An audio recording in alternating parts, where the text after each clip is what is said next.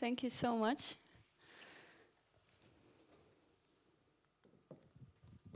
Thanks.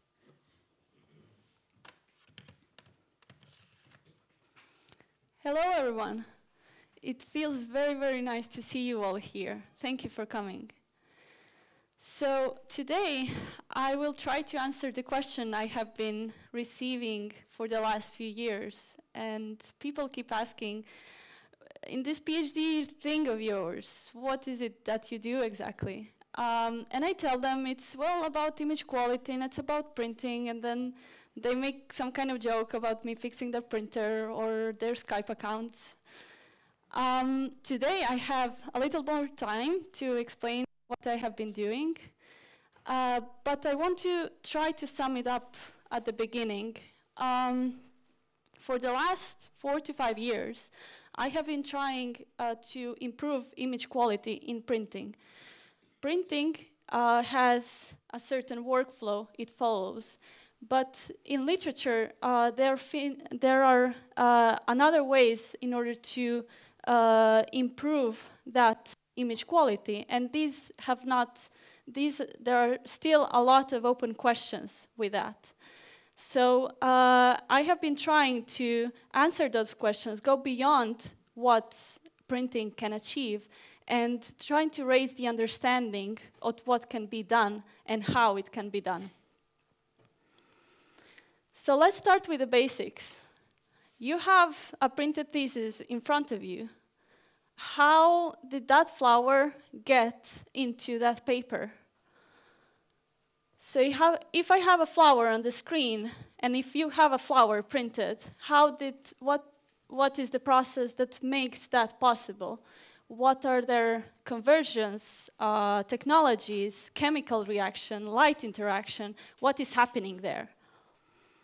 Moreover, if you take a look with a magnifying glass, at the flower on the thesis.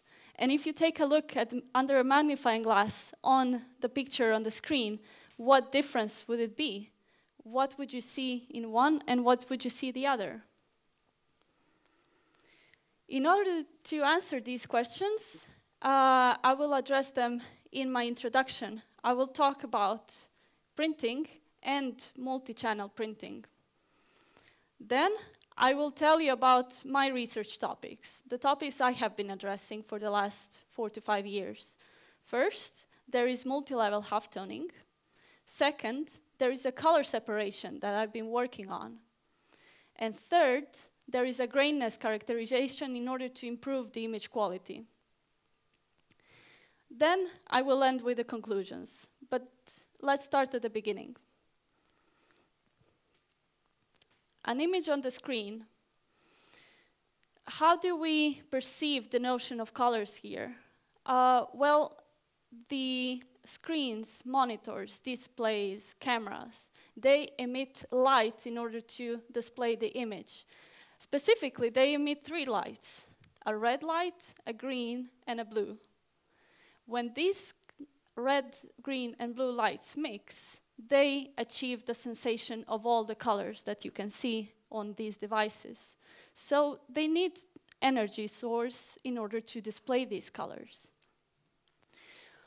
Contrary to that, in printing, we don't have a light source that's being emitted.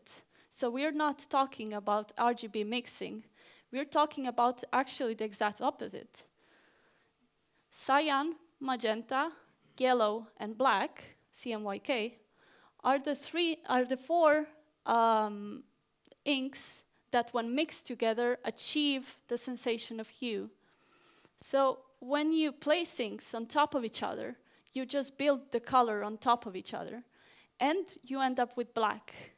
If you get full coverage of those four inks, you will get black. This is why this color space is also called a subtractive color space. Whereas then, the RGB color space, if you keep adding those lights, you get white, ergo a subtractive color, uh, an additive color space. Let me show you the CMYK mixing. So by mixing these inks together, you get the perceivable colors. But there are only four inks. So how, if you have only black, how do you achieve gray? If you have only four colors, how do you achieve the light versions of those colors? This is actually done by placing ink droplets on top of the paper. So placing inks, printing, it's actually a binary operation because you either at a certain position placing or not placing. So these ink droplets need to be, if you make them uh, undistinguishable to the human eye from uh, the distance, you will just perceive them as a shade. If you place many of these dots or close together, um, or uh, then you will achieve a darker shade than what would you get if you place them sparser apart. So this is how you achieve, achieve shades in printing. But the printers are not able to reproduce all the colors that we as human observers can see. So our human visual system is actually capable of, of uh, recognizing many more colors. So we need another color space in order to define this. We need a color space that doesn't depend on a device or on a technology, such as RGB or CMYK. We need a more generic color space where we can really describe the true color, so to say. One example of such color space is one that I will use in this presentation quite a lot, and it's called the LAB color space. So in this color space, mapped here as a sphere, uh, there are three coordinates, lightness, A, and B. A and B are chroma channels, chroma dimensions. So each color in this color space will be assigned three coordinates that will describe the color. In my research, wherever, whenever I print, um, in order to verify the result, I use a device such as these uh, in order to measure the color. And I measure it, for instance, in this LAB color space in order to verify the result. So back to my, my original question, how do we go from the screen to the print? Well, we start by an image in LAB color space. And then we go into a separation to the cyan, magenta, yellow, and black. Uh, this separation, this CMYK, we also call channels. So we talk about a cyan channel, a magenta, yellow, black channels. And this process from going from LAB to CMYK in order to print, we call color separation. Now, here is what, where it gets very scientific because you need to understand the printer, uh, the light interactions of the inks, the, uh, the light. So you need to really understand what's going on there in order to be able to get this separation from one space to the other. In addition, there are, uh, LAB has three dimensions, L, A, and B. Meanwhile, CMYK has four CMYK. So it's th this will result that the CMYK, th there might be multiple CMYK combinations that give the same LAB value. It's not a unique one-to-one. -one. Um, however, this is not really an issue because literature has been dealing with this for quite a while, and this is a known transition. After we have CMYK, each channel gets half-toned, binarized, and then ink is applied wherever the binary ones are and printed. So, CMYK printing, the state of the art. Now I want to go beyond that. in printing, it's possible to use additional inks in order to improve certain quality aspects. Uh, one thing that can be added are light inks, because uh, remember that the dots, you place dots of ink, so if, if they happen to be very contrast with the paper, or very large, or we stand really close, we might be able to see the dots, which decreases the visual pleasantness.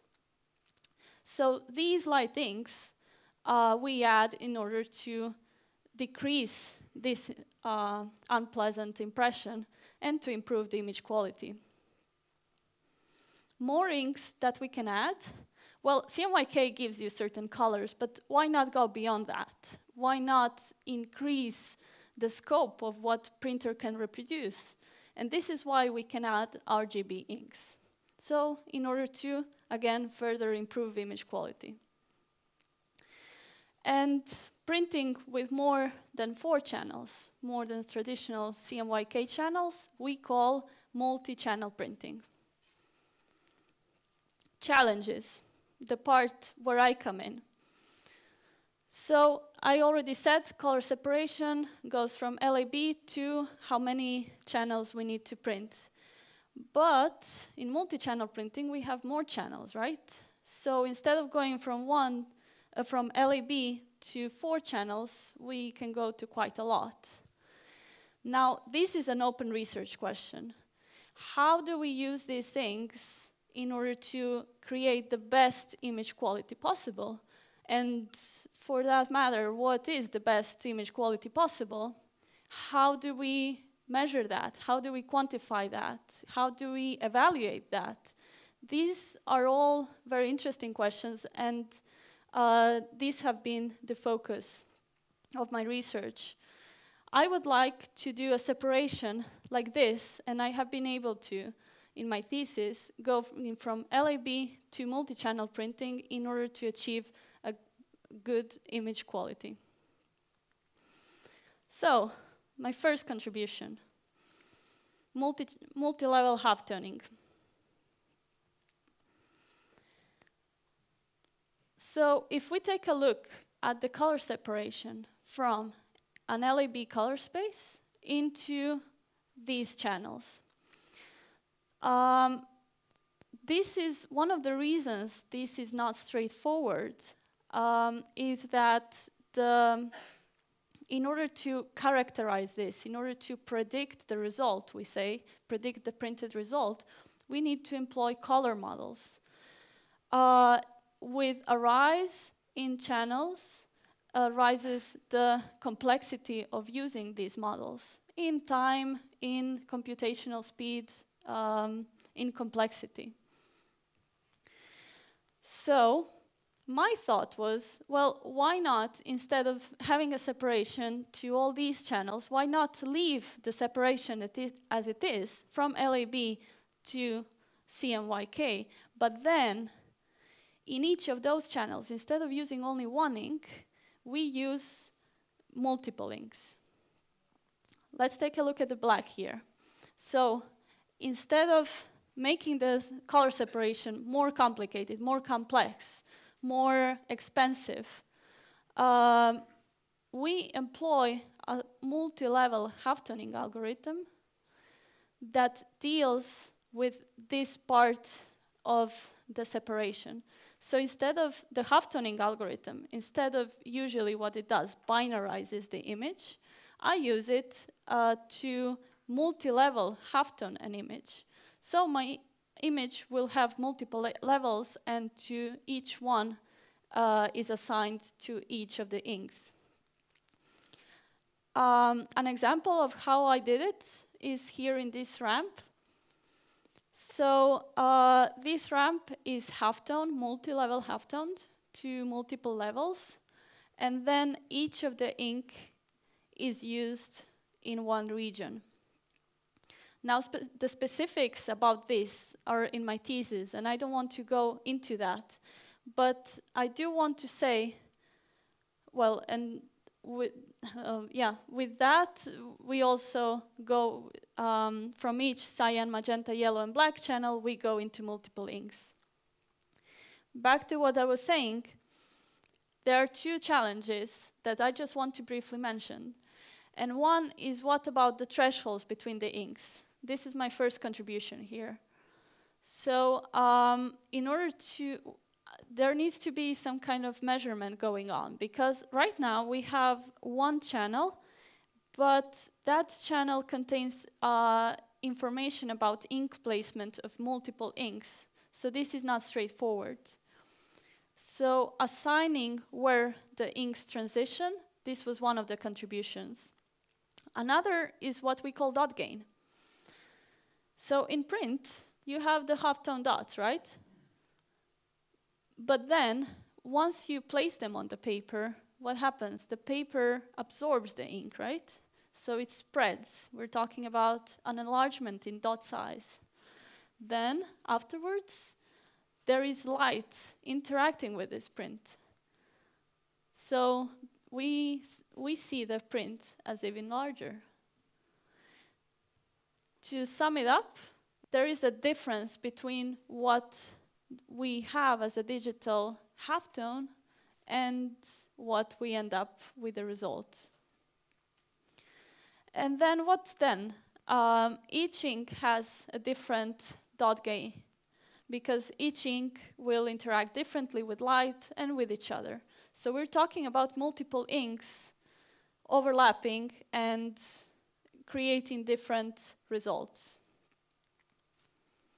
And speaking of results, um, here I have half-toned a ramp because the ramp is actually uh, one of the most uh, straightforward ways for the human observer to see if there are any discrepancies. So what you see here is a ramp that's being used with a multi-level halftoning with three inks, and enlarged are the areas of ink transitions. And uh, there are no discrepancies here, which is a good uh, sign.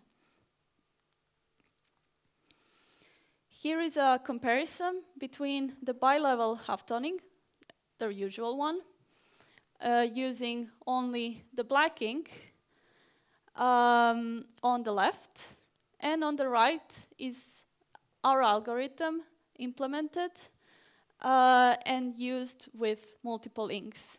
You can see that in the latter case, the grainness has decreased.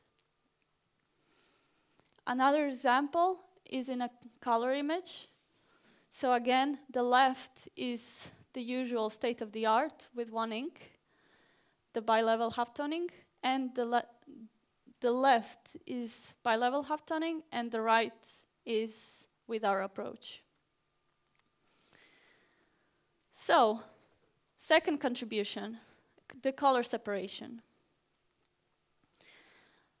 Now I have talked about a way in order to multi-level halftone one channel, two multiple inks.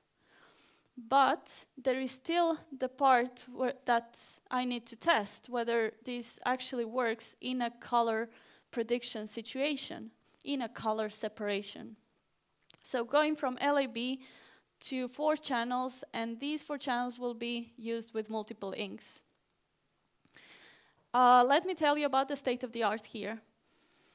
You have, there is an input color um, that represents one pixel in the previous image. So each of these pixels needs to pass through uh, a color model. So this pixel has these LAB values, which look like that. And then there have been many, actually, color models that try to uh, predict the output.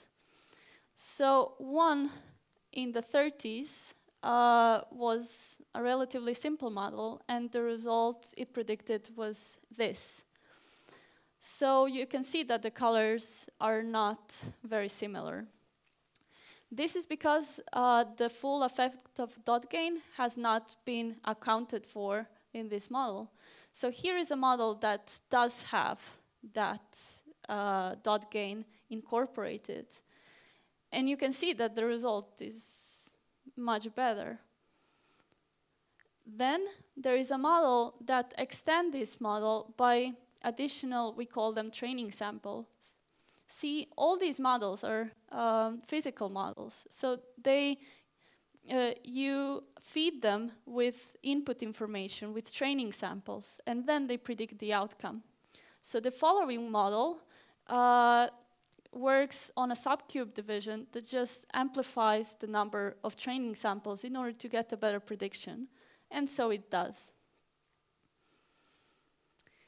Now, you can see that the colors are different and which colors represents better, but how do we measure that? Um, there is a color difference metric. Uh, this is one of the simplest equations. Uh, it basically takes two, uh, two colors and their LAB values, L1, L2, A1, A2, and B1, B2, and does an Euclidic distance, uh, but weighted, actually. So if you incorporate that into the equation and compare these two colors, you will see that the color difference is around 28. So the larger it is, that indicates a larger difference between two colors. Then if you take a look at, at, the result with the other color, you see that the color difference has lowered, and this is in accordance to what we see. And with the third one, you see that the color difference is around 1. A color difference of around 1 is what we call a just noticeable difference.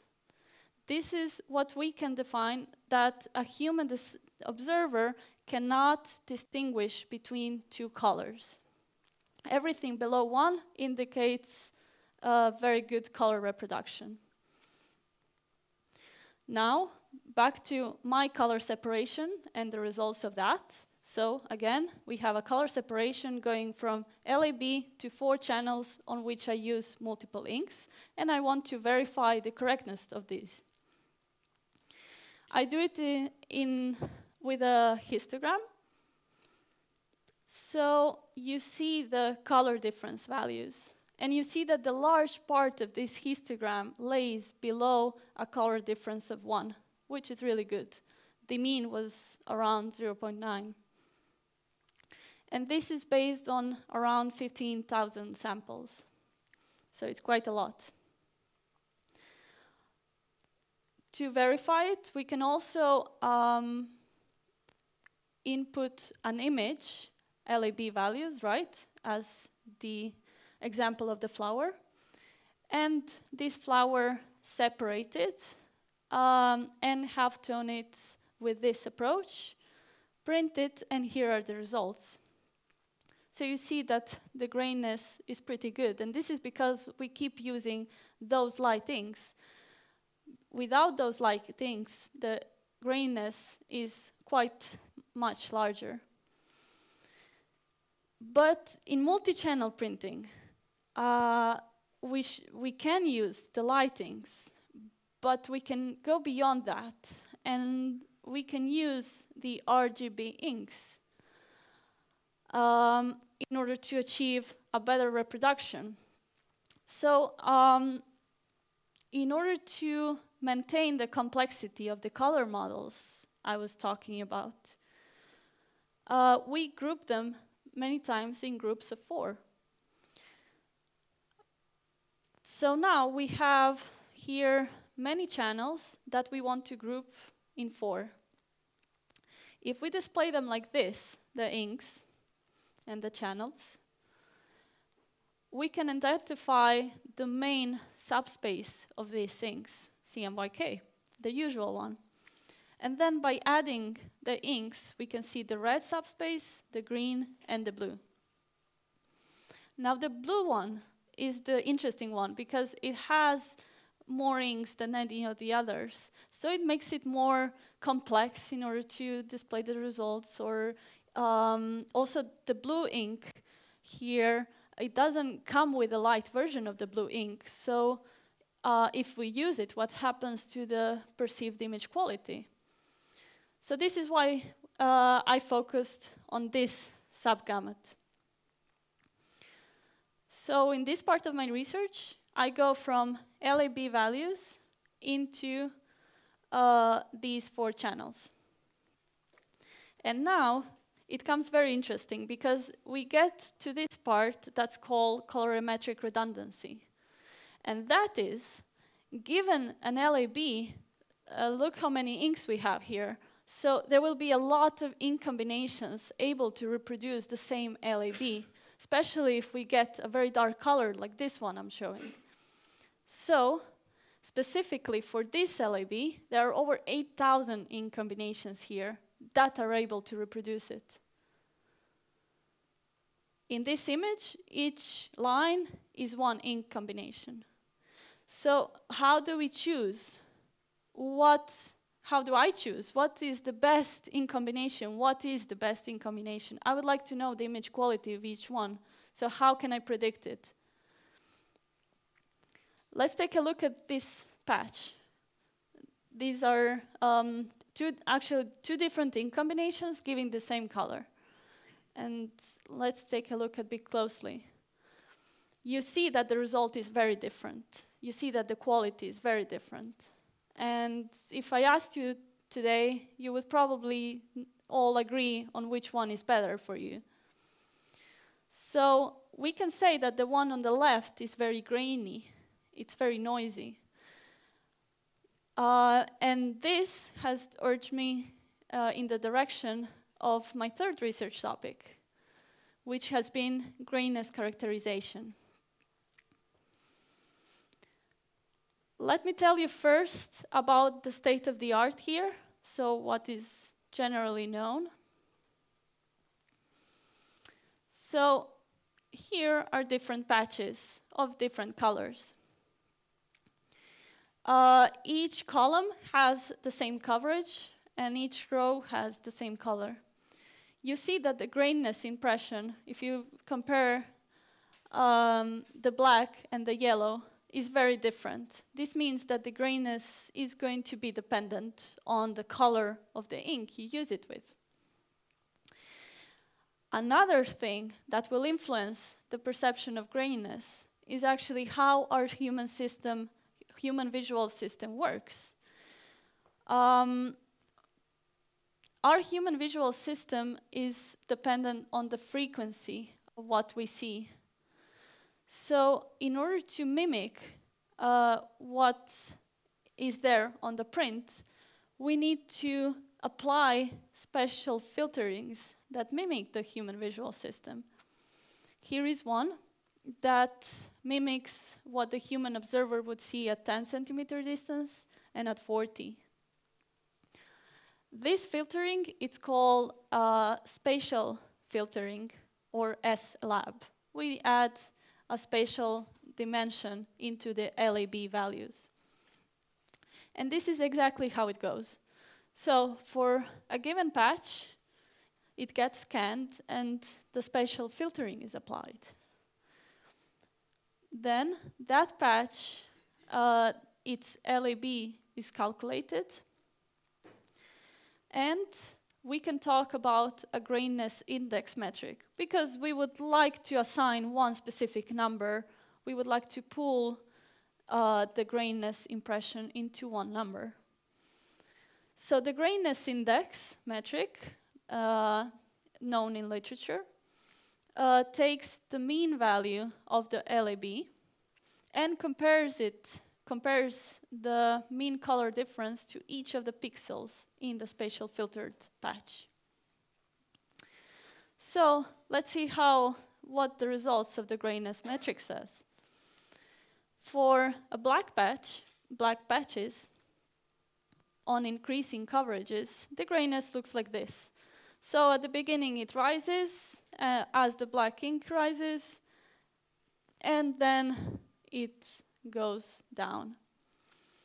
If we take a look at the blue patches, it's, well, blue has a bit less grainness. So you see here that the grainness index is also lower. And then yellow is even lower. Now, this is the state of the art. And in order for me to calculate the grainness of each of these patches, there are hundreds of each color. So I have been printing and scanning and calculating the CIELAB for each of the hundreds for each color. But then remember this and my 8,000 ink combinations. I would like to find a much better way in order to predict the grainness, uh, characterize it, understand it, understand its behavior. So this is something new in literature. This is something that I have been developing. I would like to expand the knowledge of the grainness behavior and do a, a, a kind of a prediction of the grainness of ink combinations. Uh, in order to do so, I have been constructing a data set based on 15,000 patches. This is one example of how they look like. And again, we are talking about this subspace with the blue ink. So let's see the results, because now for each LAB, I can only not only perform a color separation, but I can also include the grainness index of each one. So I know the quality, the perceived image quality of each one. So this is a fairly um, light LAB values, um, light color. So the number of ink combinations that can reproduce this color uh, is around 20. There are not too many. But you see that the grainness index is very different between them. At the beginning, around 10% blue coverage. Uh, the grainness index is around 0.8, pretty high. But then the grainness index uh, falls, and sometimes it's very low. low. Let's see for this other example. This is a slightly um, darker ink, so there are around 100 plus in combinations. And you see again that the grainness index is very different between them. So we have at the beginning, and this is uh, this color and this in combination. Uh, for once, on the left, there is uh, a grainness index of around 0.8. And on the right is around 0.5. The impression is very different.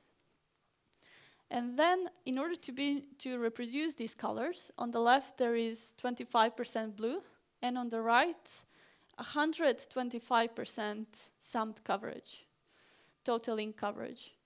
So the, this is actually a very interesting question because uh, which uh, choice should we pick? Which one is better? Uh, does the fall in grainness come with, uh, in this case, four times the ink consumption? So this is not very economic in this case. So what is better and how should we choose? Um, so I have dealt with this issue uh, with a proposed color separation approach. I would see like to have a color separation that um, has a very accurate colorimetric match to what I want. But I would like one that uh, also minimizes the grainness, but not at the expense of ink consumption. In order to do so, I have developed a cost function. Uh, the first metric I use is the color difference. And this is my function that minimizes it. Uh, so here I have the variable that's called J and, D, J, J and D, just noticeable difference. If you remember, I was talking about a color difference below 1 and how humans are unable to perceive it. So what if we assign no cost at all the ink combinations whose color difference is below that one, the just noticeable difference? And then we can also include a weighting factor to whatever cost uh, that function has. Also, I want to include the grainness in order to improve the image quality. So just as the same with the color difference, I have defined a just noticeable grainness index. So this would be a user-defined uh, threshold below which I cannot, I cannot perceive a graininess. And again, all the color combinations whose graininess index is below the JNGI, I assign no cost. However, how much that cost might be, I multiply it by a weighting factor. These are my two functions. And in order to uh, choose the in combination, I sum them up. But again, the question about ink consumption and the economic. So among those, I choose the one with the smallest ink consumption. Here are the results. On the right column, it's the result of my proposed cost function. And the smallest color difference refers to the usual color model that just takes into account the best colorimetric match, the best color uh, with the smallest color difference. First, there are the results of the color difference. You see that the maximum color difference has increased, but very slightly. And you see that the 98th percentile of the samples are around 1 in both cases. And remember, 1 meant that it was indistinguishable by human eye. So this is good. And now take, let's take a look at the 98th percentile of the graininess. So with the usual model is around 0.7, which is quite high.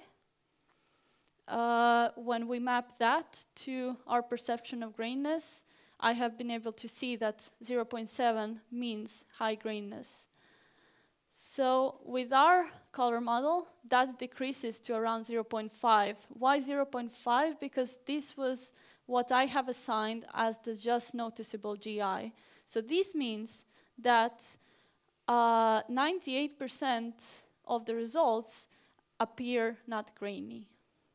And this is based on uh, the measurement, the calculations of this are based on 15,000 samples. And then the color consumption, you see that I have managed to not increase it. This is because my proposed methods includes the ink consumption. So let's take a look at the the first model, the state of the art, the closest colorimetric match. For these samples, uh, for these four patches. And this is res the result with my proposed approach. We can also take a look at the numbers. You see that the GI of the first approach uh, is higher than the second one. Now, let's take a look at the ramp. So the top one is again the best colorimetric match and the second is the result of my proposed approach. And you can see that the graininess is decreased. However, there is still some future work to be done because sometimes with my approach um, there occur some discrepancies when the inks shift in the color separation. So this would be part of future work. Now, here in these results, I have been focusing on just the blue subgamut, if you remember. But what happens when we include the, the red subgamut, another subspace?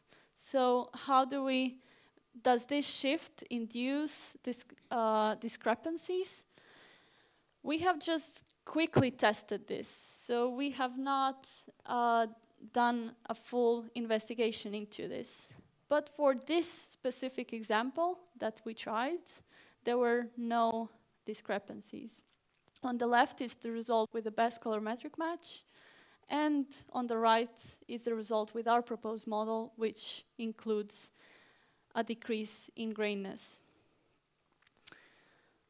So, in conclusions, for the first time in literature, I have been dealing with a separation from LAB to all these inks, Why? Because I want to uh, improve the image quality. Uh, color separation techniques are rise in complexity, time. So by using a multi-level half-toning algorithm, we uh, lower the, this complexity. And this is why uh, in literature, this is the first time that this approach has been used. Using the RGB inks, which is usually done in the color separation models in literature, uh, comes with a cost of high grainness sometimes. Uh, the red, green, and blue inks, especially the blue one, is very high contrast against the surface, the paper surface. Black is also. So um, that's why printers have also the light colorants. But because of the compu computational expensiveness, it's not very often used in literature. So uh, my approach includes them because uh, we are able to include the multi-level half-toning algorithm that we use. Also, we have tackled quite a lot into investigation about grainness. Uh, so red RGB inks are great to use because they expand the scope of printable colors, but should we? Uh, when? Um, I constructed a very large data set in order to increase the understanding of this topic. And I have proposed a cost function that includes uh, a grainness uh, approach into the method. Thank you for your attention.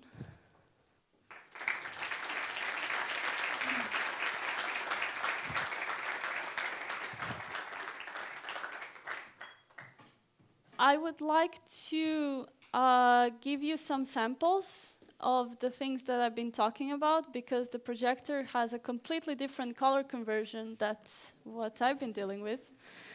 Uh, so I will uh, feel free to take a look if you're interested. Thanks. I think you have them already, so I pass it in. Yeah. Thank you, Paula. Thanks. Yep. Is it okay if you have a mic? I should probably use the other one. Uh, you have this one, if that's okay.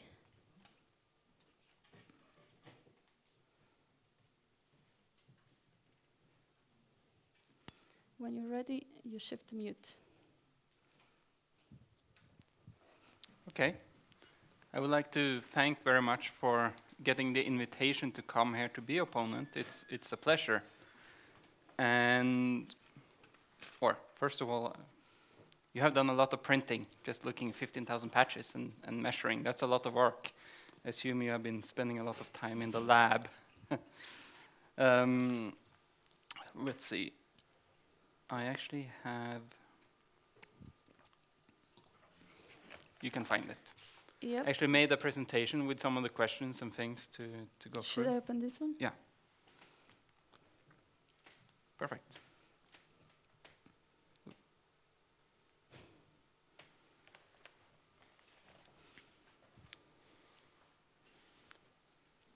So, um, I will start going through a little bit from my perspective after reading the thesis. Then I will go into some more general questions for the whole thing, and then we go very specific at the end, because I do have some very specific questions uh, that you didn't cover in your talk. Mm. Um, of course, the presentation that you gave was quite good. Uh, they answered some of the questions already, Okay. um, so that's a good thing. Of course, publications are important. Um, and you have done quite many publications. Um, you have six main publications in your thesis, three conference, two journal publications. You also have your licentiate thesis, and you're the first author in five of these uh, publications, and you're the second author in the last. Um, and looking at the publications you have done, the conferences and journals, the places where it's published, they are very relevant. They're in conferences where you would expect to see these type of um, papers. to be critical, I could say that the journals that you have published, they have quite a low impact. Um, of course, they are relevant and they are um, places where you would expect to see these papers. You also have five other publications, so in total there's 11 publications during your, your PhD, which is, I would say, quite many. The thesis, as we all have seen, it's a monograph. It contains eight chapters, 190 pages, where 167 are numbered. Um, and it is of an expected structure and format. It's actually a very nicely uh, made thesis in, in terms of the writing and the presentation also. As for your presentation today, which was visually very pleasant, you're talking about in your thesis kind of visual pleasantness, and also the presentation today was pleasant. It's good to be consistent. Absolutely which is also one of the things that's important when you do printing to be consistent, mm. because you don't want to be uh, to get discrepancies uh, as you put them. so the overview of the thesis, you have an introduction, you have a background where you cover color theory and reproduction and halftoning, and then your contributions, the way I see it, comes in chapters four, five, or four to seven, more or less where you talk about halftone quality evaluation, multi-level halftoning, and the color separation before you conclude. So putting this in perspective, um, multi-channel printing is a very active research topic. Shown this by there are several groups who has actually been doing work in this area. Mm. Um, of course, it's here with you and the group of uh, Sasan and Daniel. We have the group that I come from in Gjøvik has been doing these type of things. You have the group in Darmstadt um, who has also been doing uh, similar things. Um, they do the same thing in Switzerland at EPFL. So there is a very active community who has an interest in this. What you didn't mention in your presentation is that you were part of the CP7 project. So just showing that the EU is financing a project on multi-channel printing shows that it is an area where they would like to see more research. Mm. And they see this as one of the directions where the printing industry could go.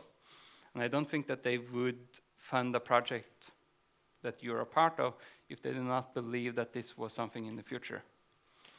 And of course, the goal of that project was to educate and train early stage researchers. I think that that's what you have been doing for the last years. Yeah, exactly. Um, and the goal is also that when this was financed from the EU, that the, when the training has been completed, that these people should go and take a leading role out there in the industry when they're finished, or in academia. So of course, we can all see where this is heading for you, Paula. you should take a leading role in the future of multi-channel printing. I'm taking notes.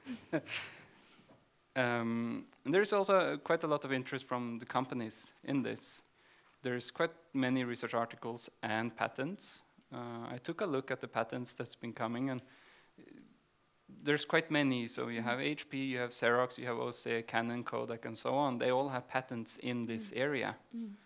Um, and they are paying attention mm. to what's happening and you probably also noticed when you went to conferences, they do sit there and they do listen to what yeah. is being presented. And when I was looking at this, it seems like the activity in this area started from around 1990, and then it's been kind of up until today. And if you look from around 2010, there was like a bump. There was quite many more papers coming out in that area around uh, 2010. Um, which is kind of at the same time when this, uh, not going to say your work, but the plan and thinking of the CP7 project. Mm. So that was my kind of just a reflection on the topic and the importance of the topic. So the goal of your research, as written in your, your thesis, is the goal of the research presented in this dissertation is developing or adapting color separation models and halftoning algorithms that increase the perceived image quality multi-channel printing. And you have some focus areas and limitations, which of course is important because you can't cover everything. No. So you're focusing on multi-channel inkjet printing, and you have a specific focus on graininess and color accuracy, which is important to, to keep in mind.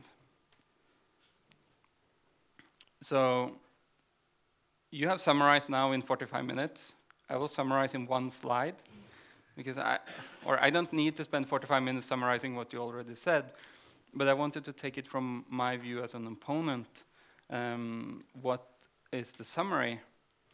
And it is improving the quality of color prints through the use of additional links. And this is more than CMYK. I think that the contributions that you have is in the area of doing quality evaluation of halftones, which is more this assessment of the quality metrics. Um, it is in the multi-level halftoning, where you look at finding suitable ink thresholds, dot gain compensation, and evaluation of the, the multi-level halftoning technique. You have done contributions in the print characterization, which is mostly on the evaluation of the accuracy, and in the color separation analysis of the colorimetric redundancy, the cost function that you presented at the end for color mm. separation, together with the evaluation that you have done of that cost function. And there is one statement that you have made in your thesis, which is predicting and considering graininess improves image quality. Mm. I think this is an important statement through the whole of your thesis. Mm. And it's written very clearly at one, one place that this is really what you have found that you need to predict and you need to consider graininess in order to get an improved quality. Exactly.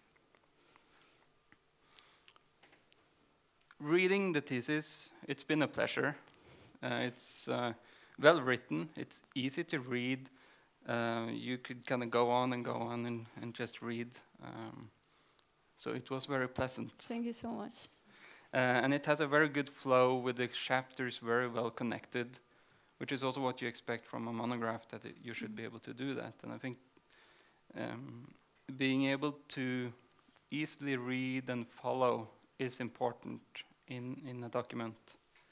The experiment seems to be quite well designed and they seem to be well carried out. Um, the thesis is a contribution to the research field, which is also shown through the publications that you have done. And in my view, the last chapter is the best. Uh, that's where I think that uh, you show that you have excelled through your your um, your PhD, that you're able to take it to a new level that has a higher quality in in the work that's been done. Of course, uh, I also need to look at the weaknesses.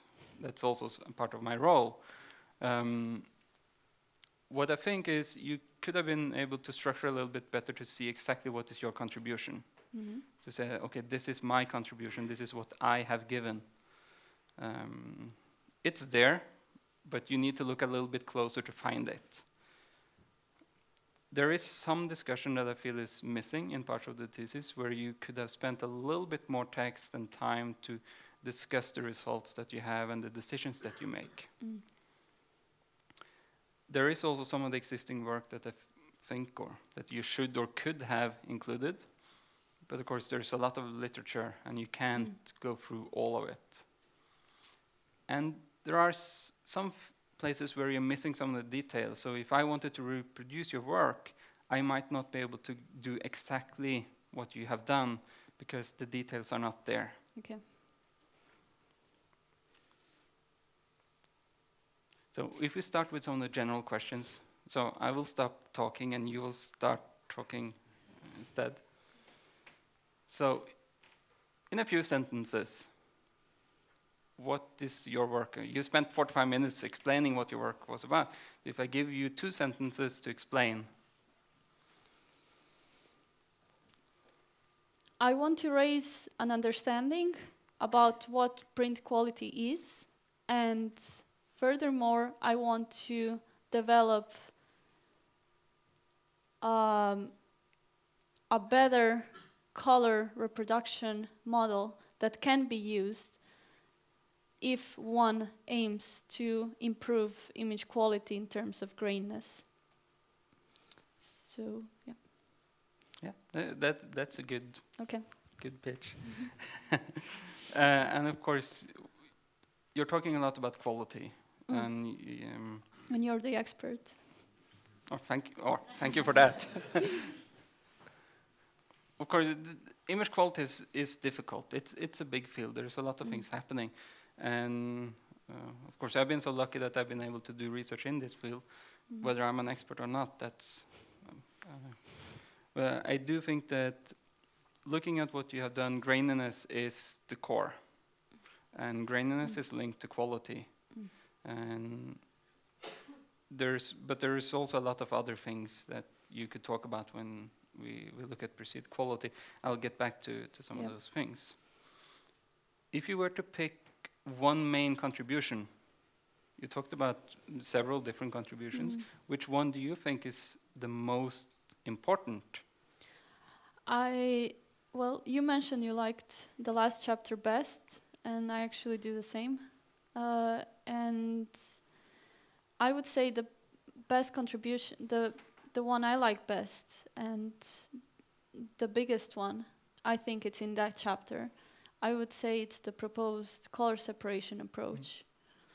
That, well, many steps are needed for this, but the end result and the contribution of making this proposed cost function is, mm, I would say, my main contribution here.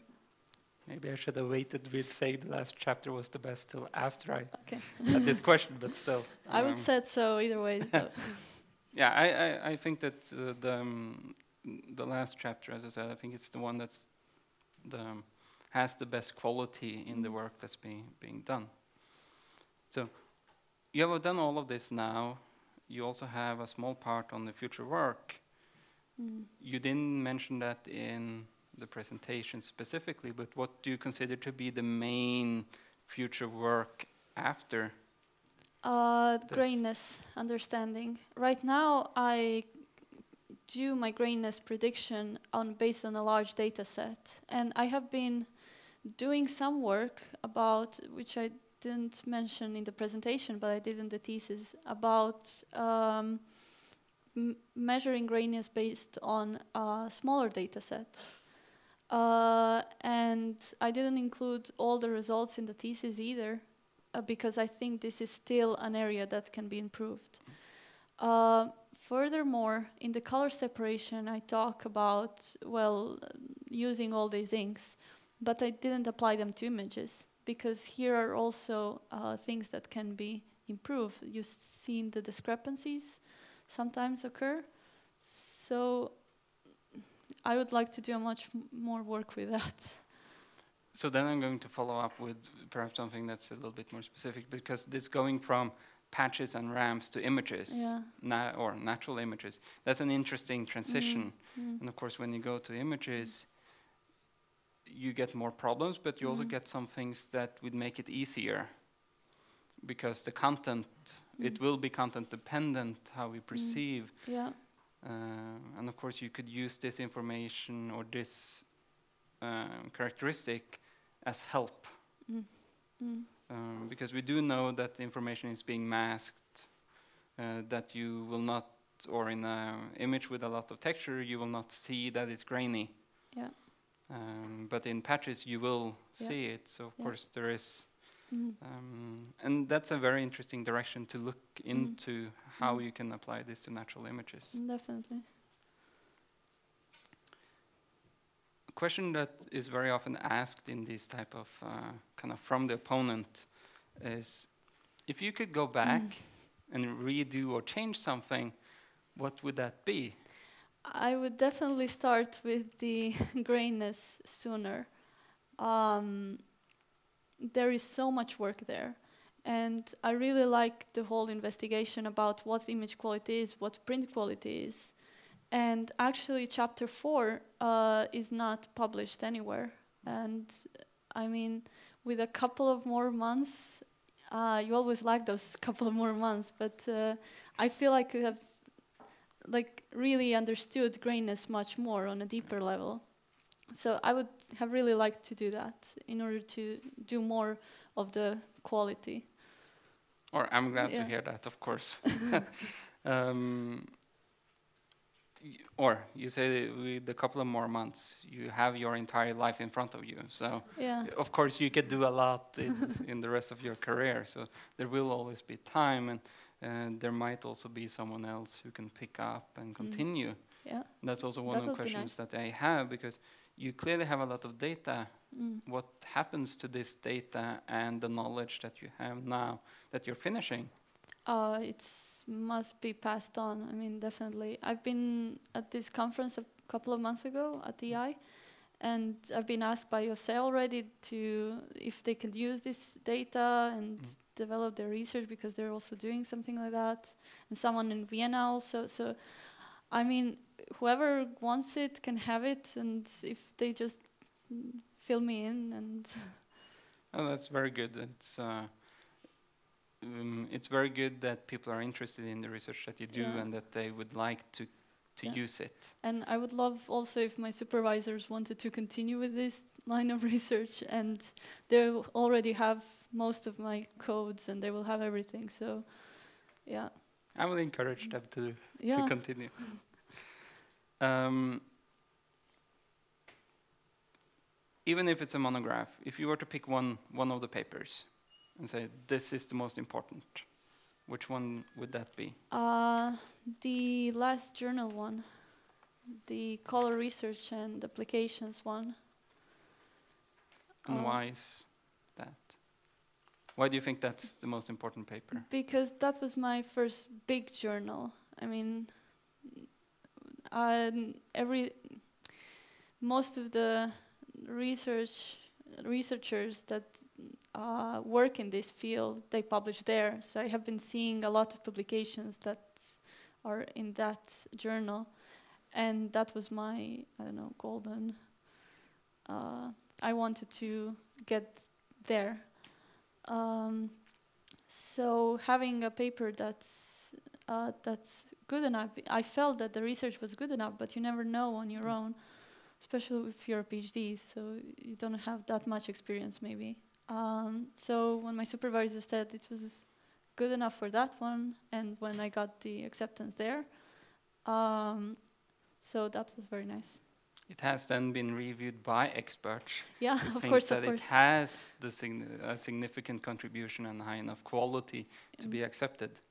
Um, and of course, that is also some of the problems for me as an opponent, since all of the work that you have done has already been scrutinized by others. so what I can do is just scrutinize more and come up with I have had very good reviewers actually scrutinize quite a Yeah. lot. Reviewers are important. Yeah. We might not always agree with them, and you might not always agree with me either, but um, it is part of, uh, of this Yeah. field. I wanted to know during this period of the PhD how your view has changed of the research topic. Um, well, at the beginning, it was very confusing. I knew the technology. I did some work in image segmentation. I just didn't know how the two merged. So I didn't really understand what the color models were and what's all this with physical reactions on the ink or light. So at the beginning, it was very abstract. Uh, when I started really producing the results and doing measurements, and I did uh, most of the codes from scratch and the, the modeling and uh, the CIELAB, uh, I tried to replicate what others have done in order to understand it. So uh, being able to reproduce it and have the results that changed enormously in my mind. I'm very glad to hear that you have been trying to do things from scratch and being able to reproduce because that adds a lot of value to seeing that, okay, how difficult it is actually to reproduce the work of other people, Yeah. especially if they leave out details. Yeah, sorry, sorry. you, you can email me. No, but it, it's um, um, this is an important uh, part of it, Yeah. and of course you cannot put everything. You you would have like a 500-page thesis, and that would take too much time. So you need Mm. to make a uh, make a decision at some point. So I told a little bit about what I think is strong and, and weak parts. What do you think are the strongest and the weakest part of your thesis? Um,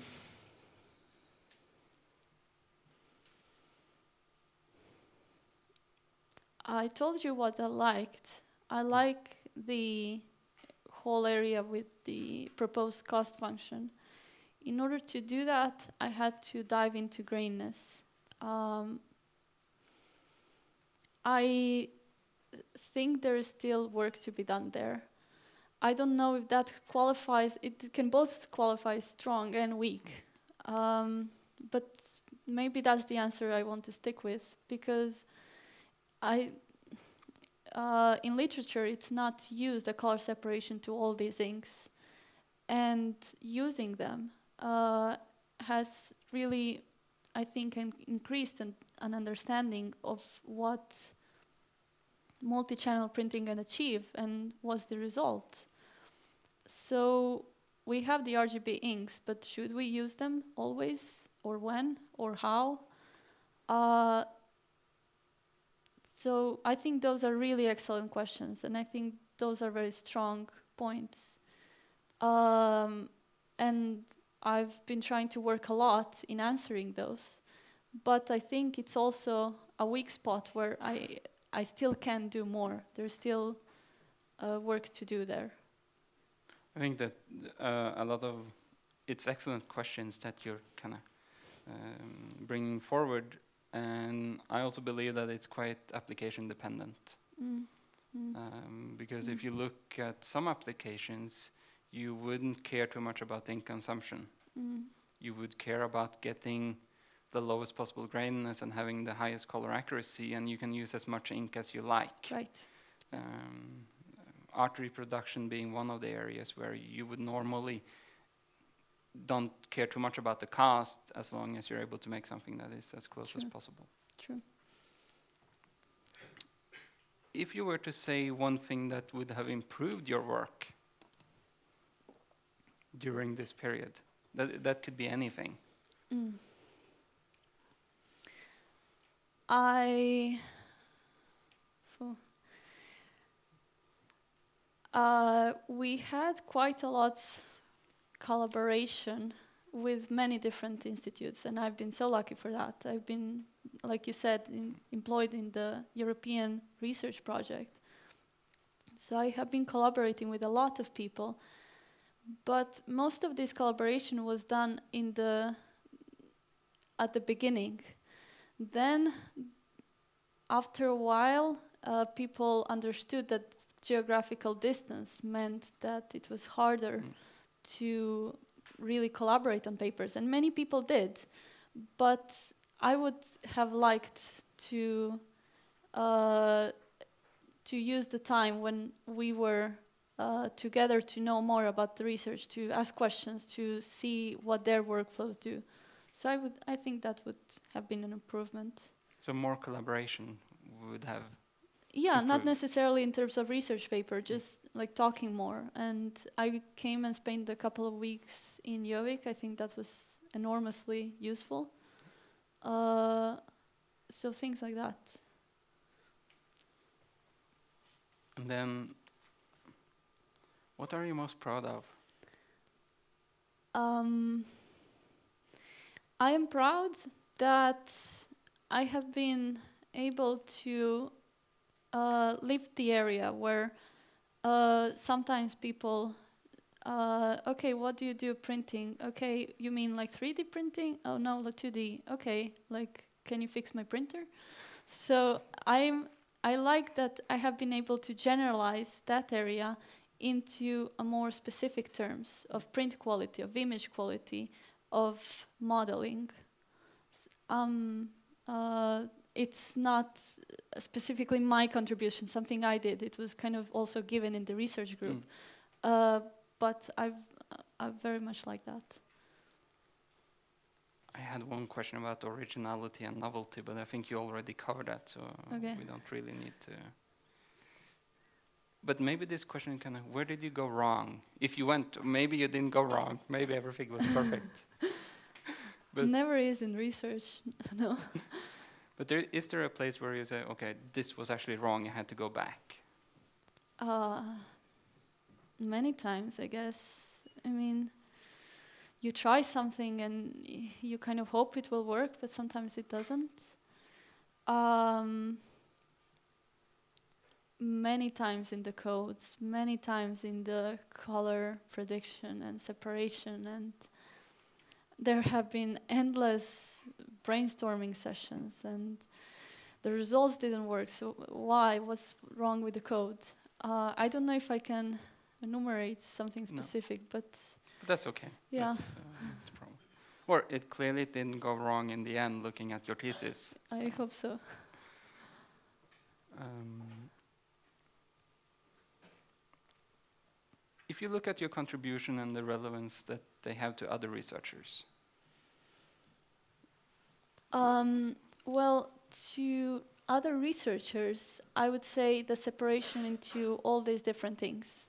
So uh, usually what literature does is increases print quality by introducing the RGB inks and then performing a color separation, looking at different illuminants, looking at even grainness, but not really under or not really describing and characterizing it.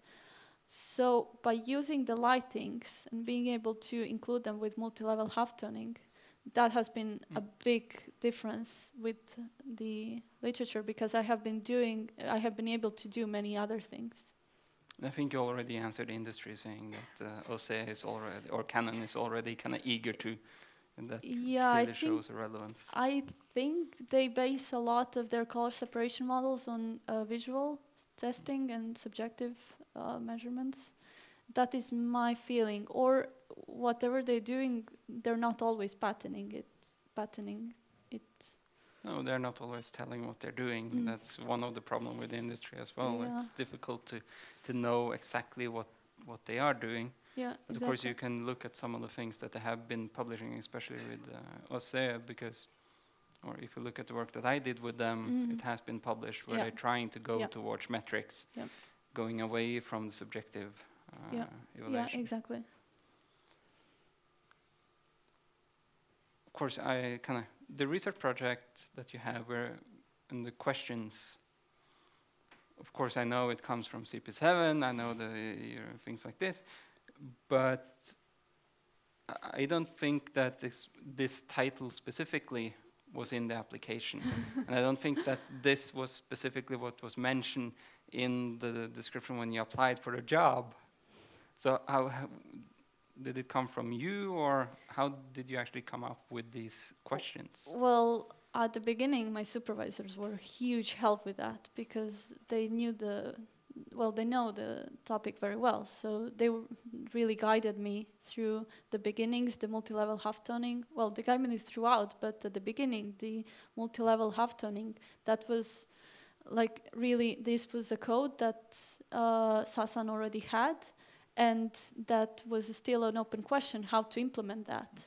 So he suggested, why don't you do it like that? And then there was a lot of brainstorming there and a lot of help there. Then later, uh, just gradually, I mean, I tried different things and I would get their inputs and whether this makes sense or not. Uh, and uh, grainness was something I came with while looking, while actually me- um, measuring a lot of printed samples. I saw that their color redundancy is huge. So I was actually pretty certain that it's, a, it's possible to reduce the grainness. Um, and I wanted to test it, and that's how it went.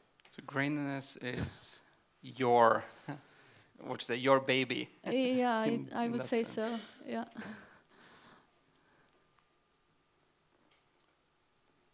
So what have you learned from this whole process of doing the PhD? It doesn't need to be scientific Okay. things. It could also be others.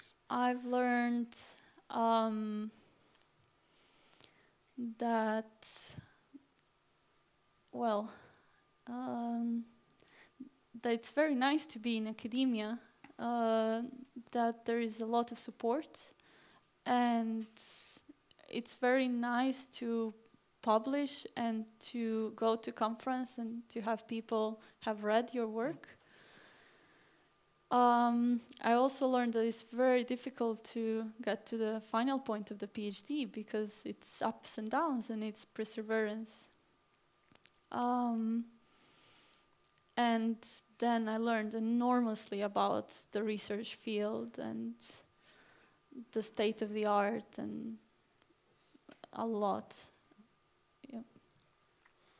I will skip the next question because we don't need to go through each of the publications. Okay. Uh, and it's also this case that it's been mostly you and your supervisors, Mm. uh, so it's quite Yeah. clear. Some of the additional publications where you have been working with other people, Mm. uh, there might be a question about who has done what. Mm. Um, and you already answered this, part that's not published. No. That was chapter four. Yeah. So it's very. Then we can go to um, to a little bit more specific Mm. um, questions. Uh, we already talked a little bit about CP7, the color printing 7.0, Mm. next generation multi-channel printing. I always have this kind of section 1.2, page 3, if people wanted to, to look at. Um, in context of CP7, where, where are you placed? Are you in the center or are you in the periphery? Um, CP7 was about multi-channel printing and all the different aspects that come with it. Uh, so it's a whole workflow going from LAB to the print with all these, and people have looked at spectral printing and art printing and uh, two and a half D. Um, I wouldn't say I was at the beginning because I would say that these are all ramifications. But if you were to put it in a workflow, I would think most be at the beginning with the color separation, but then at a lot of different places as well. And also all the way at the end because the, Yeah. the graininess is Yeah, an exactly, effect of what exactly. comes out. Um, the relation that you had to the other early stage researchers. You Mm, mentioned that you were in Gjøvik. Uh, I know you worked with Radovan. Yeah. Um, but I I know how, how was your relation to the other? There were five, no, how many? Seven. Seven PhD students and two Postdocs. postdocs. So there's nine people Yeah. or eight other people you could. and then the supervisors Yeah. and well i made um, incredible connections and many of these people are really dear to me um, i it was an enjoyment to just go to these events and meet them and know that i mean at the beginning everything is so overwhelming in the phd so it felt really good to to share experiences and know from someone other in plain English what it is that they're doing, and then you understand a little more about this literature you've been reading, and that seems so complicated. Um, so this has helped quite a lot, and uh, I've been to all these different institutes and uh, universities, and I've seen many, many different companies and universities and their way of work, and all the contacts and connections. So that has been amazing. Uh, or I don't see that you have publications with the other CP7 Mm. uh, people, but I know you referenced the work of Radovan in your thesis. I have one with Lude and Radovan Yes, oh, that's true. and Jon Yngve. From the additional publications, not exactly. the main ones. Um, so we don't need to to go into that. What was the main benefit of being in this project? Of course, you could have done this without being part of CP7. Um, just the connections, I think. I mean, when you go to conferences and you have a whole whole group of people that is very well Mm. immersed there, so they they connect you to everyone, uh, and they've been so kind to do so. I mean, and that's amazing because you can talk about everything, and people. I have asked people about their work, and that has been really nice. We already covered this uh, question. Um, the secondments, because you were, uh, Oh. or the CP7 project had secondments where the PhD students were Yeah. supposed to go to another location and spend some Mm. time. So you were a little bit of time in Gjøvik, but did you also have other? I went to Örnsköldsvik uh, in Mid Sweden University. I spent there a couple of weeks, but it was uh, they had research about paper light interactions, uh, and this resulted in uh, courses, in PhD courses. Uh, a bit of research, but uh, nothing published. Yeah, and of course, and I, then, I of course, to Gjøvik. Yes. Yep. Okay, so looking at already in the abstract, you, you state that the results show that the reproduction is visually improved in terms of graininess and detail enhancement. Mm. Yet I don't see any discussion in your thesis on Mm. detail enhancement, but you highlight it as the underlining is mine. That's not in the thesis, just to be clear.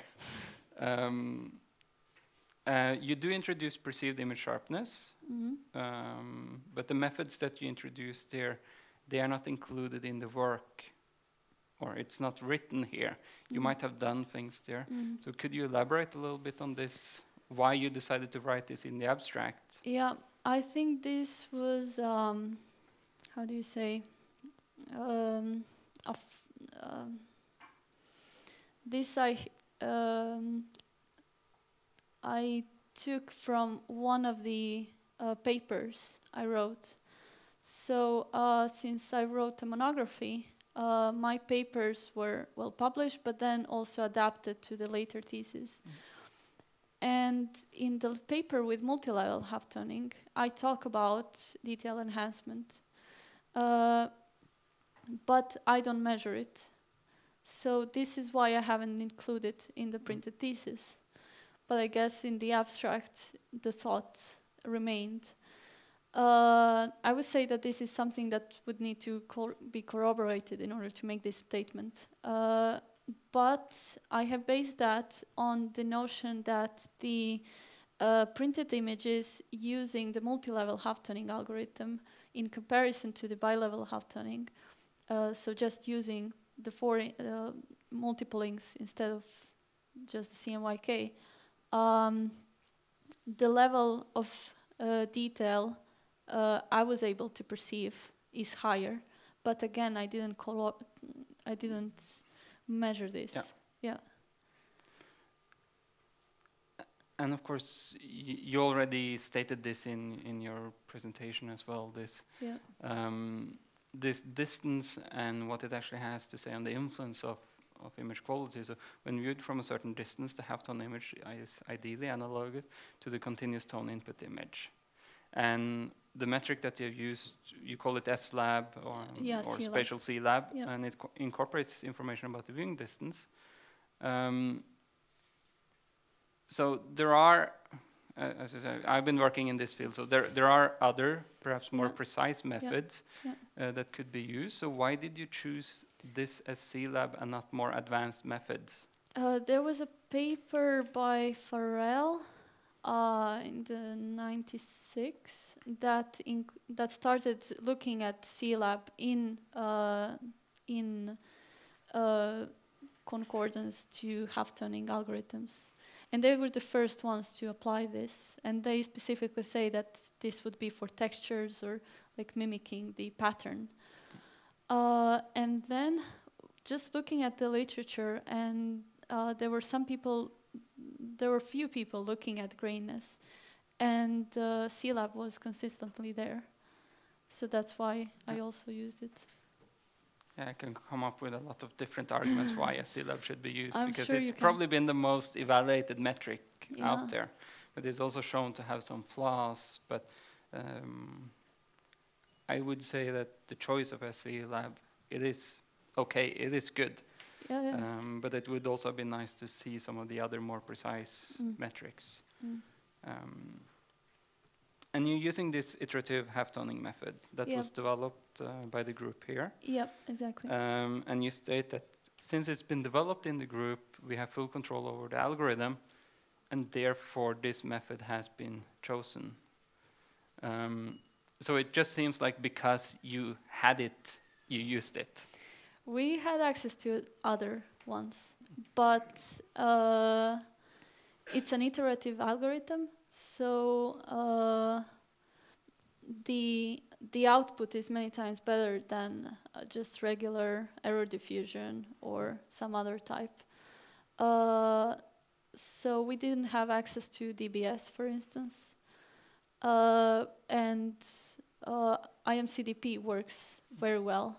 Uh, so yeah, I mean there are a few reasons. I guess I can elaborate not only because of Yes, we just had the it. way it's written in the thing that okay. It caught your eye. because we yeah. had full control and that's why we selected. yeah. Uh, of course, I understand from reading the other part of the thesis that it's not only because it was available. Right. You just wanted me to say it. Um, you mentioned DBS. Mm. Uh, I didn't have a question on DBS, but since But you you brought it up, um, that would also have been a possibility to Mm. use DBS or uh, Mm. the direct binary search Mm. algorithm. So, what's the main difference between DBS and this method that's been developed here? Um, I'm actually not fully familiar with how DBS works. I know it's it takes into account the human visual system Mm. and uh, it performs an iterative search, uh, but I don't have access to the codes and I haven't been. It's Jan Allebach's algorithm, uh, so I haven't really so. I haven't really No. known the details. It's okay to say that I haven't read the details because DBS is, what to say, a more complex method than Yeah. some of the others. And I know it works very well. I've seen the results. Um, Yeah, and there's many people who have used DBS, Mm. um, but the, this is um, uh, being able to have full control of the algorithm and also being able to have access to the person who actually developed the algorithm mm, is of tremendous mm, uh, help mm, of course. compared to choosing an algorithm that is outside and being made by, by someone else. Mm, Um, there is also a statement that you said about because the, the this um, IMC-DP has a filter. mhm, It's a low-pass Gaussian filter with a standard deviation of 1.3, truncated to 11 by 11 pixels, and this shows the best choice. Mm. What I couldn't really find is whether this is something that is shown by others, or if it's a contribution that you have made, saying that this is actually the best optimal parameters. It's not done by me. So the MCDP algorithm was a PhD thesis of Sasan's. Uh, and I think in that paragraph I say I referred to it several times, and maybe not in this particular Mm, sentence.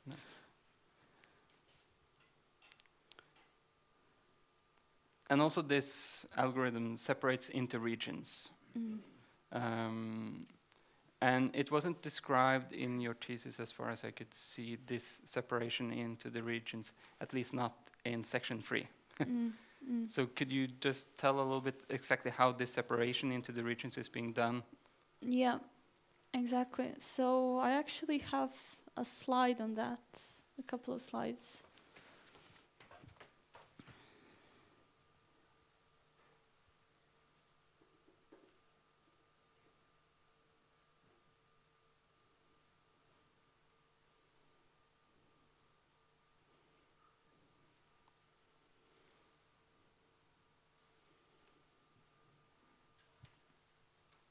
So the multi-level half-toning algorithm operates in several steps. And in order to display what it does, I show it here on a ramp, Yep. going from zeros to one. So uh, here we assume that we have three inks and therefore two different regions or, or three different regions but and two thresholds that separate those. And for the state of the argument, we say that they are at one third and two thirds. Um, then we go into the actual algorithm. So these are all inputs into the algorithm. In the first pre-processing step, so what it does that it um, normalizes each, each region to values between 0 and 1 in order to be able to binarize each region. Then it performs a half-toning, bi-level half-toning, and for this we use the IMCDP. Um, so then what we end up is with zeros and ones uh, all over the image. But then we know in the image which regions uh, correspond, uh, which uh, bit, um, the zeros and ones, where are there, where are they in each region. So we substitute the zeros and ones by the values around the threshold. So to be specific, the in the first region, 0 and 1, we map that to 0 and 033, and so on. Um, now, uh, from there, we take um, each of these values that should be printed. So 0 is paper, nothing. 033 will um, correspond to uh, the lightest ink here. 066 would be the next one, and 1 would be the darkest. Yep. And uh, that's how we make sure that there is no ink overlap, because here we part from zeros and ones. Uh, so by mapping this, then we get these results. Um, and then just in, Mat uh, in MATLAB, I write the function which extracts all these uh, multi-level values into bitmaps. So if we keep this uh, Mhm. a little bit, um, we can go into. You mentioned smoothness Mm. in in your presentation and discrepancies, Mm. and one of the areas that or where you most likely would have problems is just at the threshold. You would think so, yes. Yes. Yes. Um, and you might be able to see contouring because you have to Mm. switch between one ink to the next ink. Yeah. Did you also consider to measure smoothness or measure contouring? Uh, what we saw was, and here I need to go to the thesis for that. Um, we saw that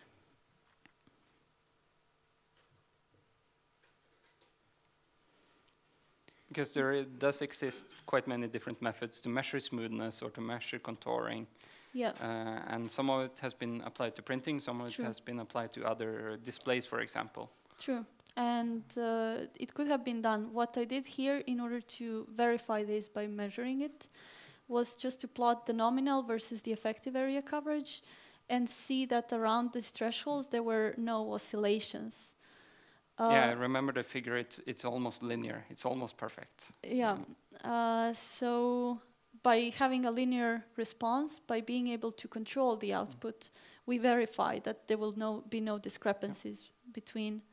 And then we printed quite a lot, so we saw that there was never a problem there, because the um, this would be due because the um, the color difference between those inks at these points are very similar also. So this helps a lot in order to uh, to make the transition smooth.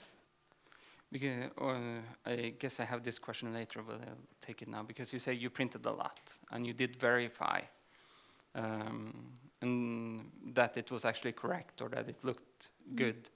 This is also some of the questions I had in terms. You have been printing a lot and you've been measuring a lot. So did you actually verify that all the prints were done, were looking okay, or was Mm. it just kind of printing, printing, printing, measuring without actually checking? Because there's a lot of things that could potentially influence Mm. when you do a printing. You can have banding or streaking, or ink runs out, or Yeah. clogged nozzles and things like this that Mm. might influence the results. Mm. How did you? Well, I, I did take a look at the results, but it wasn't just me. Uh, my supervisors also kind of helped a lot Mm. here uh, because we had a, a lot of open table discussions about the results and what do they mean. So if I thought something looked okay and they didn't, or vice versa, then we would look at, into it more. That sounds like a good strategy Okay. to to have someone to look at. yeah. Subjective assessment. Mm, Um, I knew it. you knew that this question was oh coming. yes. Um, so you state, uh, page 49, contrary to subjective visual assessment, image quality do not fully correlate with the perception of overall qui- print quality. Mm, I think in the same sentence you cite my mm, thesis or my, my work. yeah.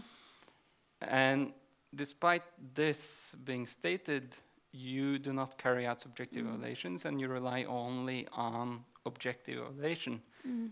So why with this statement would you not do subjective assessment? Well, there are two answers to that. Uh, first, I say here that uh, objective quality metrics do not fully correlate. But then I do a lot of investigation, or I, I read a lot into what constitutes an objective measurements and how can we uh, corroborate what I'm doing uh, with actual research. Uh, so my feeling was that I got a good merge between uh, the results and the measurements. But I didn't do uh, subjective uh, testing, moreover, because of time, actually. I would have liked to do that uh, if I had more time. Uh, but for now, the color model we didn't print, or we, we could have, it just wasn't enough time. Oh, it's subjective assessment takes a lot of time. It's a lot of planning and being able to and do it's it. so- an area of research that I haven't like really. I just took a couple of courses, one by you. Yeah. Uh, so it would have been needed some time to for me to enter it. But of course, y- you, or the statement that you have with the reference refers to overall print quality, Mm. Which of course is different from what you're looking at because you're Mm. looking at specific attributes. Mm. So you very nicely in your thesis are able to avoid this. I put the question there by intention Yeah. to, to get it, but yeah. of course Yeah. Okay. you look at quality attributes. True. And it has been shown that metrics correlate better with these quality attributes. Mm. And you decided to look at graininess and color accuracy. Mm. Mm. Um, and of course, we, you said through the, the process that you were, you decided to look at graininess, so it's okay that you decided to look at that. And I think that's a, it's a nice attribute to look at. So we don't really need to discuss too much on why you decided to Okay. to do this. Um, one thing that I was a little bit puzzled not to see was this. Um, this is not taken from me; it's taken from Jan Allebach. Mhm. Um, these fundamental goals of half-toning and the discussion of these type of fundamental goals in the larger portion of the thesis, because it's representation of tone and represent representation of details, um, and to have this sharp, distinct, good contrast in rendering of fine structures in the image. I was expecting to see the this, Right. but I, I wasn't. I, I didn't see it uh, at least. right. That was just a comment from Right. from my side. Yep. Um, yes, this we already discussed the switch that you have between the inks, where you Mm. would have um, have contouring or smoothness problems. Mm. Um, we already did that. Yes. Um, so, to use the standard deviation or the graininess index, you require to have a patch. Mm. Right. Mm. So, do you have any thoughts on measuring this of complex images? Because the graininess index that you have been using wouldn't work for a natural image No. because it requires this one number of the overall color Exactly. of the patch. Yeah. So you wouldn't even be able to use it on a ramp. No. I could do different things. Um, I could first switch, I could compare the original image to the print and then do a comparison uh, where I would have a plot of the um, of the differences. So if I pass the scanned image through CIELAB and then apply the color difference metric, um, ideally it would also show the results that the grainness has. Another thing I could do is look at uh, noise. Uh, and then there are different ways to do that, but those are like not sp- specific always about grainness. Uh, so this would be yeah, Yeah. something different. I, I think that's a good good answer as well. Of course, you could look at noise, but it is influenced by Yeah, other properties Yes, as well, and not only the the graininess. yeah. Um, there is also a statement on graininess and contrast. Um, they're differentiated mainly by the lower contrast against the paper, thus reducing graininess. Mhm. So, but if you lower contrast against the paper, what other issues or consequences would this have on the quality?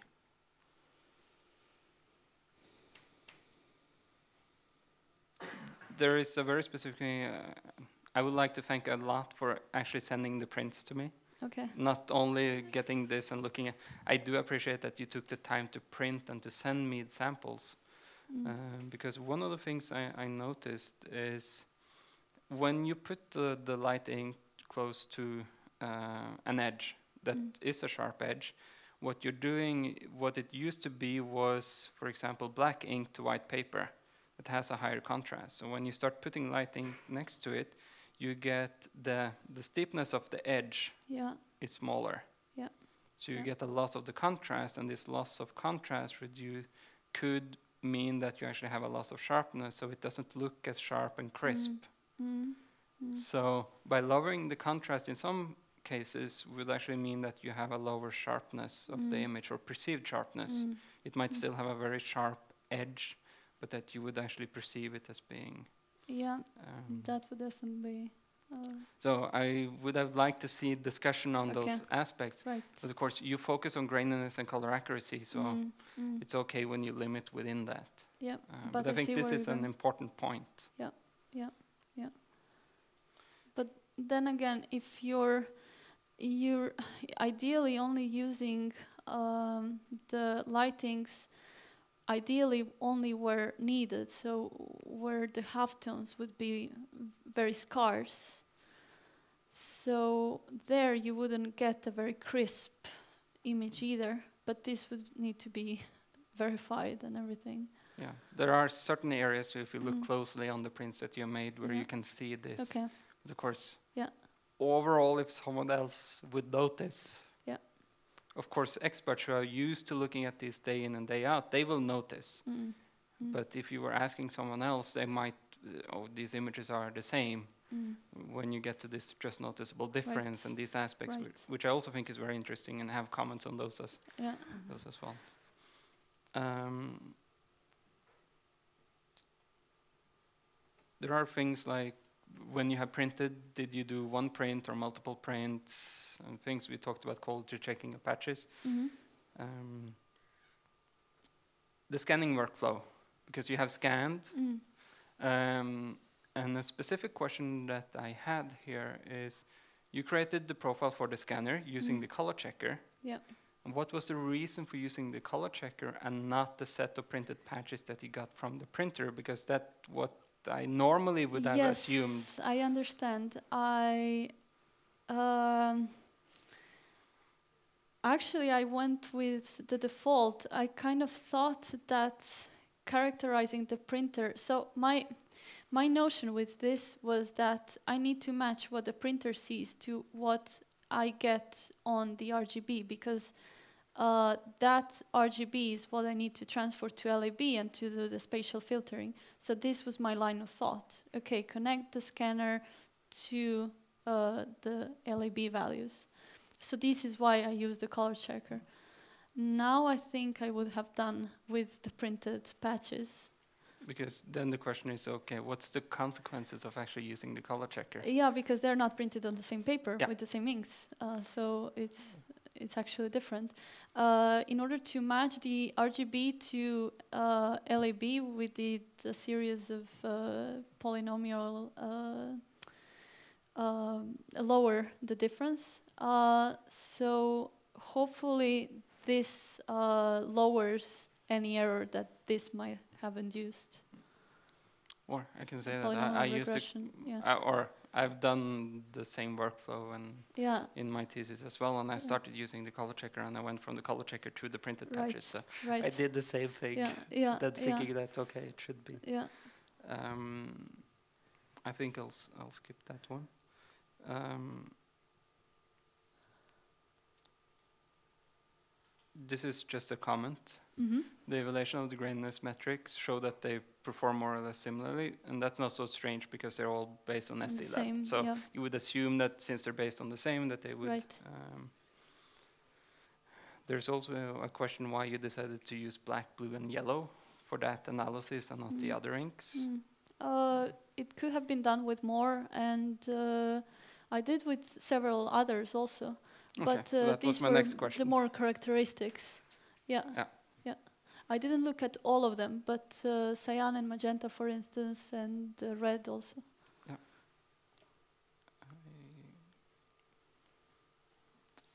So we, we talked a little bit about viewing distance, and this is also important. Uh, um, I don't think I need this question. The distance of 25 Mhm. centimeters was selected as the viewing distance in the further studies. So why did you select 25? What's special about 25? Um, well, this would be uh, a distance on which I would usually uh, see the uh, the results. Also, in literature, sometimes they refer to 40 as the normal viewing distance. But other than my personal opinion, uh, when we add the light inks, then the perceived graininess decreases quite a lot. And in order to really uh, implement those things and really make sure that the graininess is lower, then we can afford to look at it from closer. And then my, my next question is, did you actually consider the normal distance as which we are actually able to focus? So this would be 40? No, it's not 40. Okay. it's closer than 25. uh, Okay. uh, so um, I, I assume No. based on your question that though you did consider Right. that, but of course this if it's too close, yeah. you we are not able to focus, and if we are not able to focus, we cannot see sharp, and if we cannot see sharp, we cannot see the grain. So it is 25. I don't have a problem with 25. It was just why it was 25 Right. and not Right. uh, Right. another number.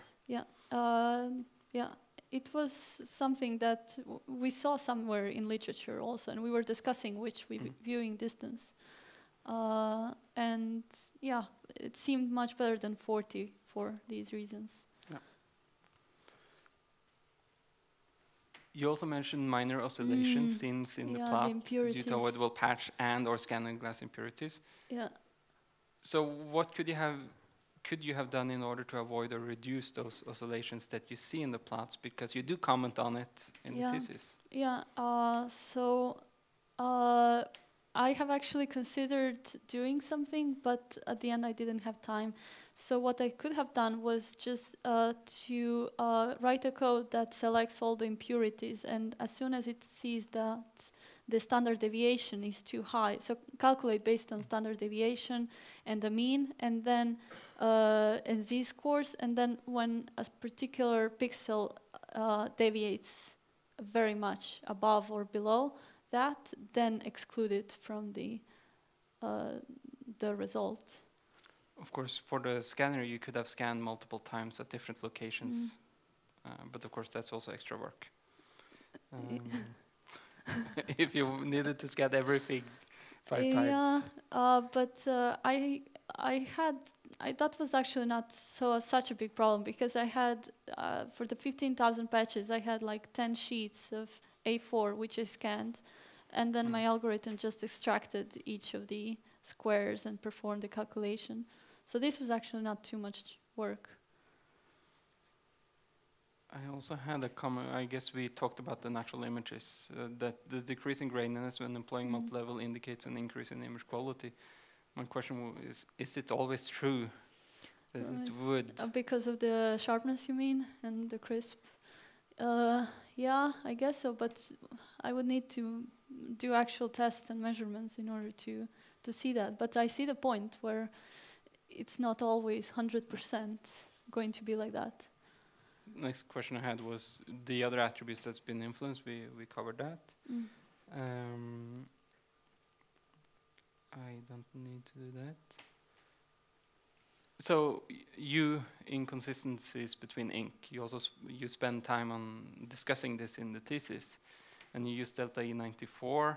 Um, my question is: Did you also look at the delta C and the delta H? Because you report the overall, which is lightness, chroma, and Mm, hue, mm, but you mm, don't mm. discuss specifically individually. individually chroma Mm. and hue. No. Um, with you're talking about humans. no, I haven't.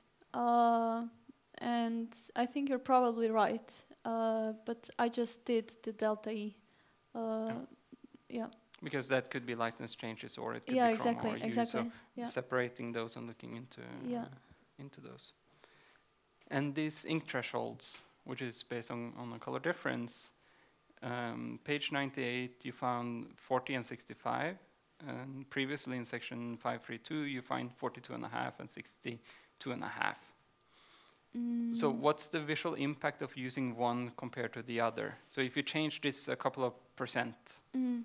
Um, so, uh, first, are you sure, or am I sure that I meant on page 19.8 for this type of paper?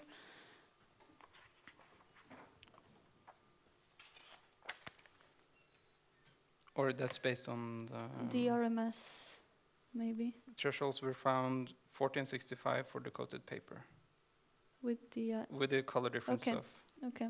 And then I think Uh, but this is with the color difference, not with the. So I did choose, or I did several things. I found the thresholds for the black ink, but not based on the color difference, but instead based on the CIE Y values. And these are the thresholds that you see there, 42 and a half and 62 and a half. And then on page 98, which you referred to, these are uh, found Yes. based on the color difference. But then the question is, if you change the threshold from 40 to 42, Mm. what is actually the impact of that Right. change of 2%? It probably wouldn't be No. a difference. Uh, I did several tests because uh, all four years of research, and uh, I changed paper, I changed the inks. So each time I have found the threshold again, and it was around these uh, values. Uh, but a couple of percentages, I don't think it would have mattered. Um, there is also in page 110 when you talk about the number of patches that you have, and you all, you comment Mhm. that this is low, uh, Yeah. which is also fine, and they're selected randomly. Uh, did you look at the dis- when you select this randomly the distribution that they actually have in the gamut? Mm. Because even if it's random, you might actually miss Right. specific parts of the gamut. True, true. Uh, I just did it randomly without looking at the distribution. Uh, but then I thought it was still okay because in the later, in the next chapter, I I do the verification Mm. for quite many more number of patches, and the um, the mean is uh, fairly similar. Yeah. And also, are there some colors that's more Um, problematic? Yeah, yellow because of the um, dot gain, uh, the n factor. So the n factor for uh, the other inks is higher than n. So when you include, I include the mean of the n factors. Mm. So it's closer to something that the other inks have instead of yellow. So including yellow makes more difference. And also in your presentation today, you talked about the delta E of 1. Mm. Why 1? Uh, it's not written in stone. I don't like the equivalent there. so uh, it's usually said that delta E 76, uh, for that uh, delta E, uh, the just noticeable difference is around 1. Uh, for uh, 94, which concurs more with what we actually see, uh, I haven't been able to find a definition of a just noticeable distance. Uh, but many times in literature, I have seen people referring to one and using one as the difference. So that's also why I used it. Yeah, and you also state in, in the same chapter, I believe, that okay, this is user defined, or you Mm. it could be user defined. so- Yeah, exactly. I also shield myself with that sentence. Yes. it's always good to have those type of Yeah. sentences. Um, for the ink combinations, um, there is oscillations in the Mhm. graininess when Mm. you look at it. And there is especially one place in 7.4 where there is an increase between ink combination 15 and 16, um, where it kind of goes up again. Okay. And it seems like it is I some significant. I think I know exactly what you mean. Yeah. Or I have it here. Yeah, exactly, exactly. But of course, this might just be the order in how you actually shown the combinations, because uh, or they have m- almost the same. Yeah, it's uh, shown in increasing ink coverages. So, is there a specific reason why that combination actually is worse than the Um, others, or is it just ran? Um, It just seems strange to have. It's quite smooth el- Yeah. elsewhere, and especially there, it's peaks. yeah. Um, Um, good. Uh, it might be due when I see the total amount of ink coverage. Uh, so maybe we're approaching the area where uh, it does it still have blue? Yes. Yeah. Yeah. I don't know. why. No. No. I don't expect you to to no. know all the things. I would need to take a look at the results. Maybe And that was also a specific ink combination that had a, a standard deviation more than Yeah. yeah. And also in 7.5, there are larger oscillations at the end of the ink combinations Mm-hmm. compared to earlier. Mm-hmm. But I'm not sure why this actually ends up at the end there that it oscillates more than, than previously. Yeah, uh, when it's actually when it's uh, close to full tone coverage or full tone coverage, especially if sometimes the inks are very dark, then uh, sometimes mottling occurs, and Mm. that That I- influences, yes, of yeah, course. yeah, So and that I might can't be the reason. always differentiate it. Yeah, That was actually a very good answer. Yeah.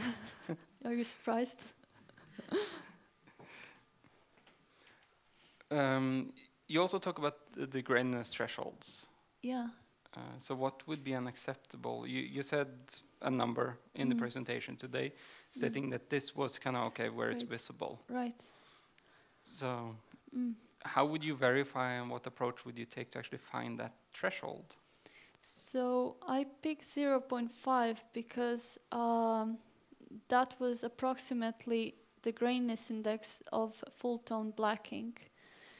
But because of mottling, it might be even Mm. lower. But um, I would need to do subjective testing in order to uh, to verify this.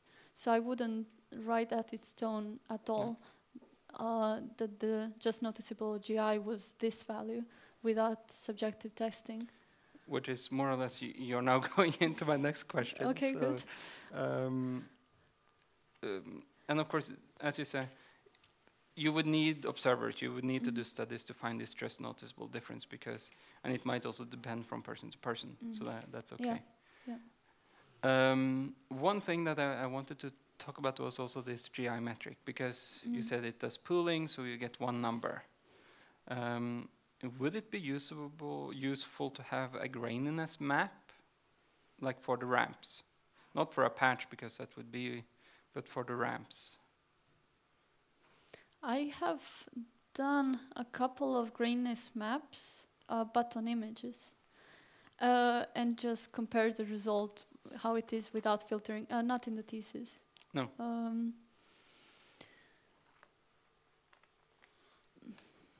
maybe.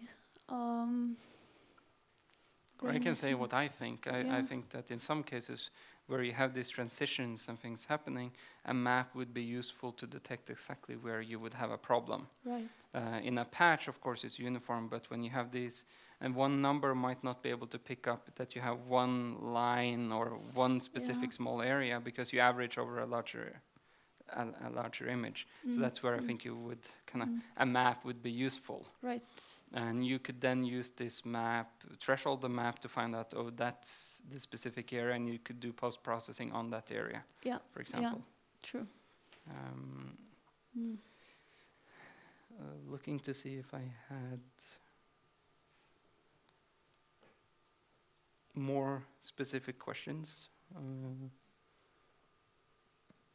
I think there's a lot. You in the beginning you mentioned visual human system, pleasant net visual quality, improving visual quality. Mm. I think there's a lot to do in the direction of the being able to measure this visually in images to improve the quality.